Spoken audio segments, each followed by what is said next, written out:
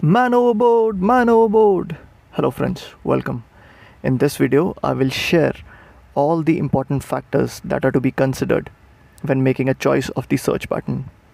So, here are the 9 factors. Number 1, search area size. Number 2, environmental conditions. Number 3, information on missing person or object. Number 4, probability of detection. Number 5, resources and assets available. Number 6, time constraints. Number 7, terrain and seabed features. Number 8, search objectives. Number 9, experience and expertise of the search team. Now that we know all the factors, let me discuss each factor and the kind of pattern you may choose in various circumstances. For search area size, if the search area is relatively small and well defined, the expanding square search pattern or the creeping line search pattern could be considered. For larger areas, the parallel track search pattern or sector search pattern may be more appropriate. Let's talk about the number two factor now environmental conditions.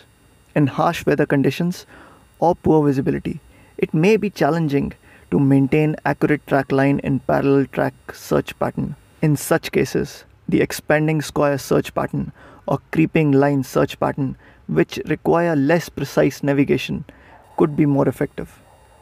And now the third factor information on missing person or object. If there's a specific information on the missing person or object's last known location, speed, and direction, it is advisable to use that information to adapt the search pattern accordingly. For example, if there is an evidence of possible drift, the search pattern should account for this movement.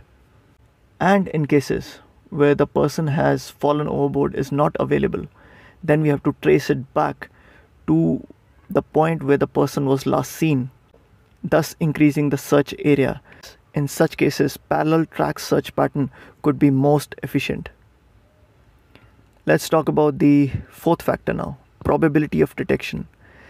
The parallel track search pattern and sector search pattern generally offer a higher probability of detection as they cover larger areas and provide overlapping search coverage. These patterns are suitable when the search objective is to cover a significantly large area quickly.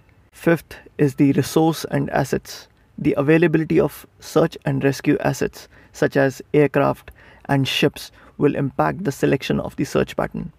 The use of aircraft may be better suited for parallel track line search pattern due to its availability to cover large area faster.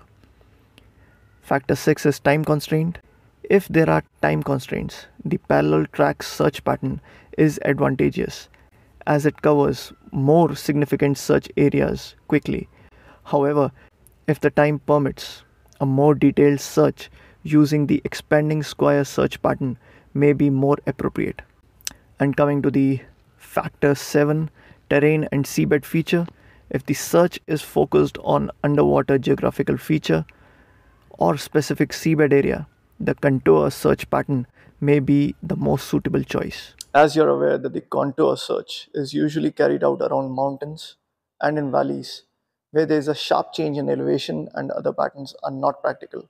Search is started from the highest peak and goes from top to bottom with new search altitude for each circuit such altitude interval may be 150 to 300 meters.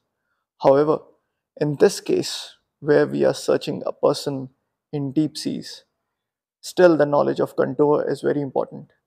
Knowledge of underwater terrain is essential for safe navigation. Submerged rock, reefs, shoals, and other hazards can pose significant risk to the vessels, especially during rescue operation. Thus, understanding the seabed topography can help rescuers plan safe routes and avoid potential obstacles.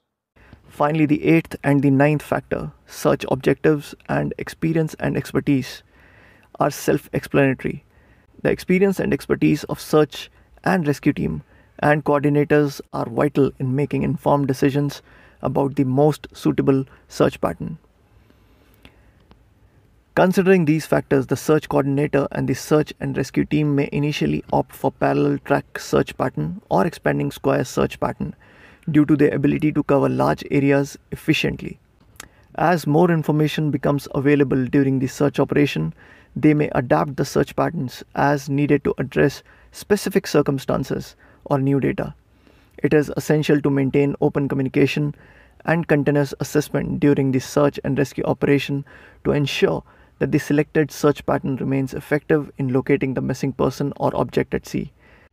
Remember, flexibility and adaptability are the key elements in successful search and rescue mission.